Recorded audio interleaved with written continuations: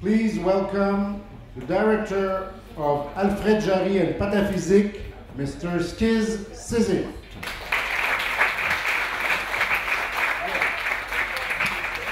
Thanks.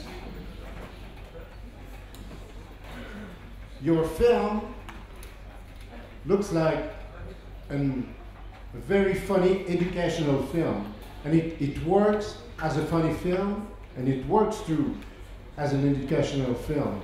So, did you conceive film as the part of something bigger, or?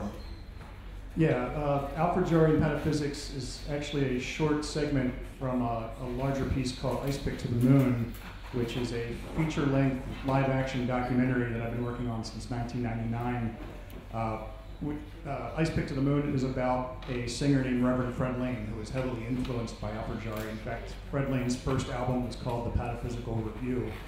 Uh, I needed a way to explain who Jarry was and pataphysics, and I didn't want to take up too much time in Ice Pick to the Moon, and I also didn't want to use narration. So I had to figure out a way to explain all this and realized I needed to use narration, and I tried to think of a, a clever, visually interesting way to, uh, to use narration. And I already had the, the t-shirts made for a music video that I made for the band The Jennifers, and I decided to reuse those t-shirts. And, uh, and I'm going to do several more sequences similar to that to uh, space out throughout Ice Pick to the Moon. Because you have something very uh,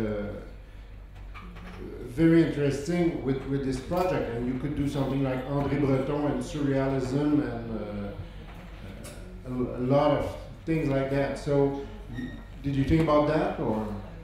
Uh, I have. I, have thought about doing. Uh, I've used the shirts twice now, and I really like how it turns out. Actually, if, if anybody saw the film, uh, look for the music video because I think it worked even better in the music video. Uh, I want to use the shirts even more. Um, I want to tackle some other subjects. I actually want to work in more shirts. I, am going to make two more colors of the shirts and have four people on screen, I think, the next time I shoot something and have them all take turns talking. The reason only one guy talks in the film is because the other guy couldn't fit in the shirts. so I didn't want to have, have him changing shirts every other second. Est-ce qu'il y a des questions de la salle? Oui, Martin. I, I thought your film was a lot of fun. Um, I wondered if you had ever seen uh, Geoff Dunbar's film Ubu. It's an animation from the late seventies. No, I, I did. I, Jarry is not quite as, as obscure as it seems. I, I did try to seek out uh, different film versions of the, the Ubu plays, mostly to get the uh, pronunciation of the first word because I had no idea how much it was pronounced. Uh, but no, I haven't seen that one. I have to look for it. Another question? Is every uh, information is you in your movie strictly um, uh, authentic? I'm sorry. Strictly authentic, uh, true uh, towards the yes the work of Alfred Jarry. I, I knew nothing about Alfred Jarry before starting Ice Pick to the Moon, and uh, realized that I needed to understand who he was in order to explain him. And so I read a lot of books and I looked at a lot of websites and tried to condense the, the what I thought were the more interesting slash funny parts of, of who Alfred Jarry was into a two minute oral report.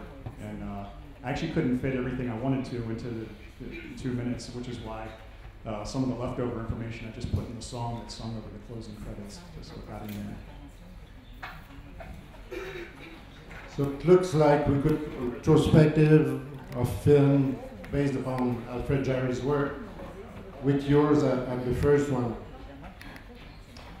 Uh, another question, last question. It's just a general question because you're an animator and you got into the festival. How many festivals do you put your work into, and how many actually get through to be shown? Well, that's a good question. Um, this is the first short film I've had on the festival circuit in uh, 10 years, and I think this is the sixth festival uh, that's been in. Um, I've made two feature-length documentaries in the past five years, and I've gone to probably 30, 40 festivals. Uh, but I've entered plenty more. Uh, I find that I, I get into maybe a quarter of the ones that I enter. So it's, I'll, I'll take that quarter.